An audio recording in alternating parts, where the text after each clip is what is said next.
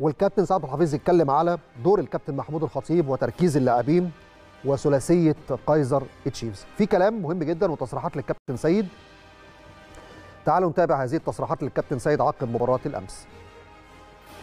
حفيظ الحقيقة يعني من أنجح مديرين الكرة الحقيقة في مصر وفي النادي الأهلي.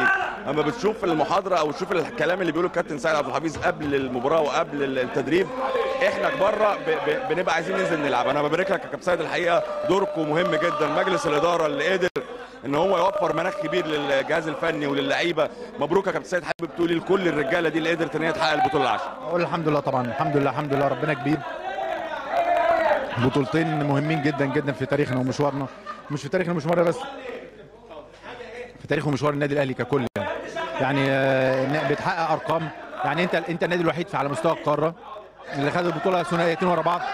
2005 2006 2012 2013 2020 و2021 يعني يا آمل يا رب إن شاء الله الرحمن زي النهارده وزي الأيام دي. السنة الجاية نكون محققينها لثالث مرة إن شاء الله الرحمن يعني. بطولة كانت صعبة بالتأكيد. قابلنا في مشوارنا عدد من الأندية يعني آه، لها تاريخها ولها مكانتها. وبطولتين يعني يعني آه، آه، في في السنة اللي فاتت دور الثمانيه والمجموعات كان معاك الهلال السوداني وكان معاك النجم الساحلي وبعدين النجم وبعدين دور الثمانيه عندك سان داونز ثم الوداد ثم الزمالك. ده السنة اللي فاتت. السنة دي بتقابل في دور الثمانيه عندك آه، آه، سان داونز وبعدين الترجي وبعد كده بتلعب في النهائي مع مع النهائي مع كايزر تشيفز. كايزر تشيفز يعني من الفرق اللي ما كانتش طبعا مصنفة في الأول لكن قدرت بمجهودها وقدراتها وإرادتها إنها توصل لأبعد آه، نقطة. الشوط الأول كان شوط صعب جدا.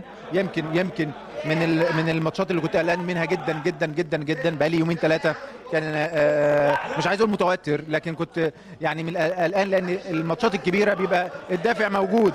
الناس حسستنا إن البطولة انتهت وده كان إحساس صعب قوي كان إحساس صعب قوي إن أنت عايز توصل للعيبة حاجات آه، تديلهم دافع أكتر. فبدأنا نتكلم على مشوارنا في المستقبل. خلي بالك المباراة ديت بتلعب آه، بتلعب فيها كأس عالم الأندية. المباراة ديت يعني ما حدش بيفتكر. هتتعب عشان تقول يعني أنا أنا خدت بطولة 82 من مين؟ المختص قوي والمذاكر قوي هيقول لك آه من كوتوكو 87 من الهلال 2001 من سان داونز 2005 من النجم 2006 من الصفاقسي 2012 من الترجي 2013 من أورلاندو 2020 من الزمالك 2021 من كايزر تشيفز. أنا عشان مختص ماشي. أعرف كده كويس. لكن ال- ال- الأهلاوي العادي ممكن يقول لا إحنا خدنا بطولة 10 مرات. فاذا أهمية المباراة هي أهمية البطولة مش هتلاعب مين وبس يعني. فده كان مهم قوي إن إحنا نشتغل عليه. قدرنا الحمد لله رب العالمين وربنا وفقنا. يعني خلينا نقول ونتبسط ونفرح الحمد لله رب العالمين. لكن طبعا عندنا كمان مشوار عايزين نكمله على المستوى المحلي يعني. معاك. الدور الكبير الحقيقة اللي بيقوم بمجلس الإدارة برئاسة الكابتن محمود الخطيب. ربنا كافئ اللعيبة وربنا كافئ المجلس الحقيقة كابتن سيد لأن الفترة اللي فاتت كانت صعبة جدا. الكل تحمل حملات ويمكن ضغط كبير جدا لكن توفيق ربنا بيبقى مع اللعيبة بيترد وأكيد المجلس كان ليه دور كبير. بص يعني كل ما زود الضغط عليك كل ما زود الضغط عليك تبان قوة شخصيتك. أنا مؤمن بده جدا يعني. النادي الأهلي هو في, في, في المكانة العالية في أفريقيا والمكان الأعلى في في الوطن العربي وفي مصر بالتأكيد. فهتضغط يبقى لازم يبقى شخصيات قوية اللي تستحملها يعني. الحمد لله رب العالمين. عندنا رجالة. إحنا من النادي إحنا النادي اللي بنحترم كل الناس لكن ما بنخافش من حد خالص.